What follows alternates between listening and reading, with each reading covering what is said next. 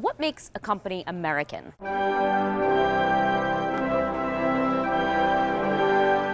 The answer involves more than locating a company's headquarters on a map.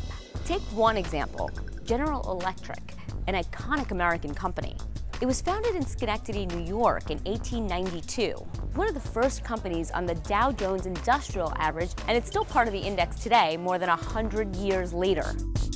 The company makes everything, from light bulbs to the software that connects industrial robots. I'm focusing on GE because one presidential candidate, Bernie Sanders, said the company is an example of corporate greed and destroying, quote unquote, the moral fabric of this country.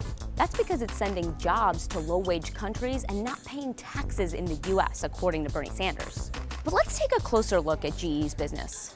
55% of GE's sales actually come from outside the US. So the company says it's moving its workers to where its customers are. About 60% of GE's workers and manufacturing plants are outside the US.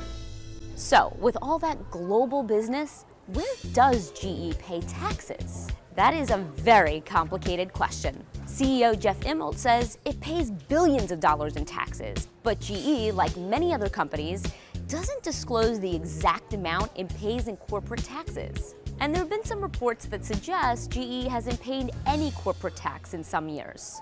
By the way, Apple, Nike, Caterpillar, Ford, those are just some of the companies that get more than half of their revenue from abroad. Apple CEO Tim Cook was even grilled before Congress about his company's practice of keeping cash offshore so it could avoid U.S. taxes. Honestly speaking, I don't see it as being unfair. I am not an unfair person. So back to GE.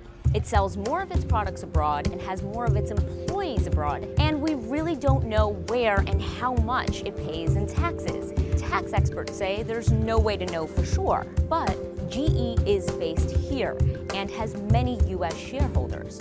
So is GE an American company? You decide.